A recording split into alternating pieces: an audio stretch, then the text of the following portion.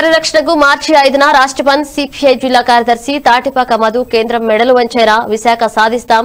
ఏఐట్యూసీ జిల్లా అధ్యక్షులు నల్లా రామారావు వెల్లడించారు.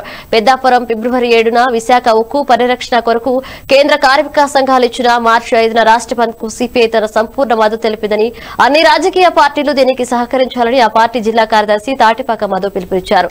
అదేవిధంగా కేంద్రం మొండిగా ఉన్న ప్రజా పోరాటాలు చేసి విశాఖ ఉక్కు సాధించుకుంటామని అన్నారు. కోసం ఈ నెల ఐదున కేంద్ర కార్మిక సంఘాలు ముఖ్యంగా భారతదేశంలోనే అనేక సంఘాలను ఏర్పాటు చేసి చరిత్రాత్మక ఏడు కలిసి చొరవ తీసుకుని CITU IMTU BBS BMS INTUC అన్ని కార్మిక సంఘాలు కలుపుకుని ఈ నెల ఐదో తారీఖు నాడు రాష్ట్ర బంద్ పిలిపించింది. ఈ బంద్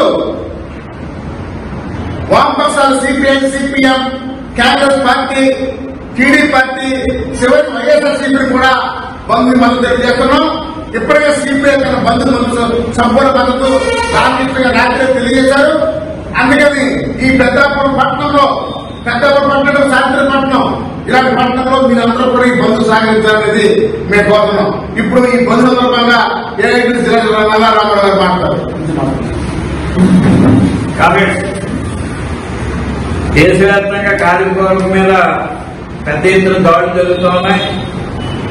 అందులో కార్మిక చట్టాలు నిర్వీర్యం చేసి యజమానులకు అనుకూలంగా చేస్తున్నటువంటి నరేంద్ర మోడీ ప్రభుత్వం మన ఆంధ్ర రాష్ట్రంలో కూడా మనం పోరాడి సాధించుకున్నటువంటి విశాఖ స్టీల్ ప్లాంట్ని కాలు చౌకగా ప్రైవేట్ వ్యక్తులకి అమ్మాలని రెండు లక్షల